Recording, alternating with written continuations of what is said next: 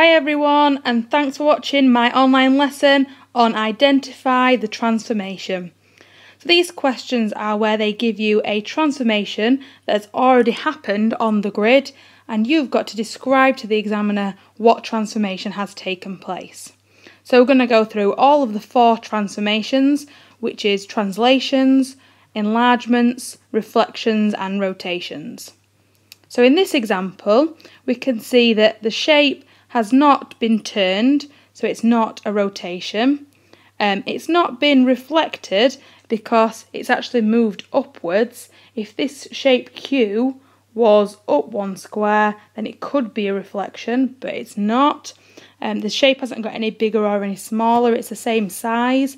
All that has happened to the shape is that it has been moved on the grid. So the word for a move is translation.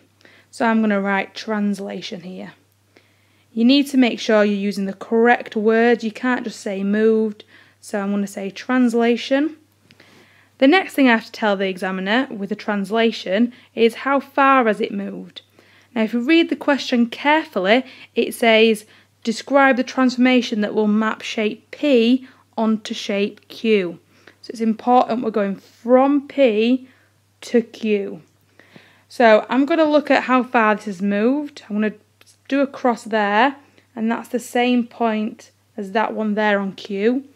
So to get from my point on P to my point on Q, I'm going one, two, three, four, five, six squares left and one square down. Now I need to write this in vector form. So I'm going to write my vector and I'm going to write minus 6 because it's 6 left and minus 1 because it's one square down. You need to use the vector for this. Here's our next example. So with this shape, we can see that the shape has been flipped over. It's not been enlarged, not been made any bigger, and you can actually get tracing paper out and test that it's not a rotation. We can see it's been reflected. Now I need to find the line that it's been reflected in. If I pick a point on B and the same point on A and count the squares between them, there's one, two, three, four, five, six squares between them. So the halfway point there is going to be where my line is. So that is my line of reflection. So I need to write down the word reflect or reflection can't just say um, it's been flipped or turned over. And I've got to write down what is the line it has been reflected in. So this line here goes through minus 1 on the x-axis. All of these points on this line have an x-coordinate of minus 1. So it's a reflection in the line x equals minus 1. Here's our next transformation. In this one, it's not got any bigger or smaller. It's not just been moved because it's actually been turned around. And if we get some tracing paper, we can test it out and we can tell it's a rotation. So I'm just going to write down first, rotation. Again, you can't just say it's been turned. You have to use the correct word, which is rotation. Now for this next bit, you'll need a bit of tracing paper. You need to place your tracing paper, and this is from triangle A to triangle B. So you need to place your tracing paper over triangle A, draw around triangle A, and to find the centre, there's nothing you can do but pick random coordinates. It's going to be somewhere around here in the middle, and turn your tracing paper and see which point will land shape A onto shape B when you hold that point with your pencil often it is the origin. So always start with the origin or you know it's going to be somewhere between these two shapes. So on this one, an origin is definitely a good place to start. Trace around A, turn your tracing paper and see if it lands on B. With this one, it actually is the origin. So that's my next piece of information is that the centre is the origin. I can put origin or I can put my coordinate, which is 0, 0. And then with rotations, there's another piece of information I need to give, and that is how far has it been turned and in what direction. So this one is actually a 180 degree turn. And because it's 180 degrees, I don't have to give the direction because it doesn't matter which direction. If this had been a 90 degrees, I need to say whether it was cl clockwise or anti-clockwise. So I'm just going to say 180 degrees.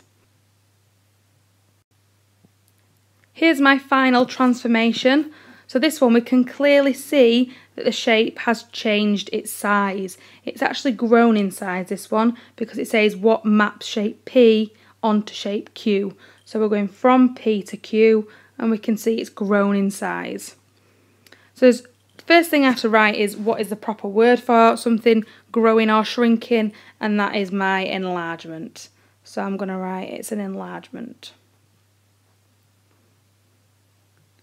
The next thing they'll need to know is what is the scale factor of the enlargement, so how much has it enlarged by. So if we look on my grid, this bottom line of P is 2 squares, and that's ended up as 4 squares. This one up the side here was 2 squares, and that's also ended up as 4. The one at the top was 1, and it's ended up as 2. So we can see that these lengths are being doubled so my scale factor is 2. If these numbers were more complicated and not as easy to spot, what we do is we take the new length, so in this example it would be my length on Q, and divide it by the original length, and that gives me the scale factor. So in this example, I'd be doing 4 divided by 2, which is 2 to give me my scale factor. So scale factor is 2. And the final thing, and this is the most complicated thing to do, is to find the centre of the enlargement for my final mark on this question.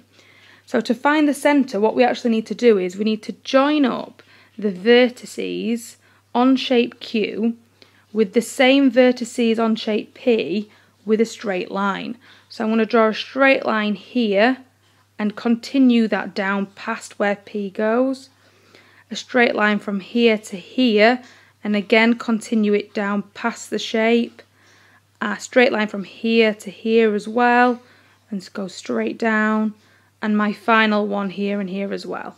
So I'm going to join all those up with a straight line. So here you can see I've joined up all my vertices with these straight lines. You need to do this as accurately as you can, so definitely need to be using a ruler and a pencil for this and join them up really neatly and continue that line down and you should see that all your lines join together at a point and that point is your centre of enlargement. So I'm going to write centre and I need to give the coordinate and in this example that coordinate is this one here where they all join up and meet. So that is the coordinate 1, 0. Thank you for watching.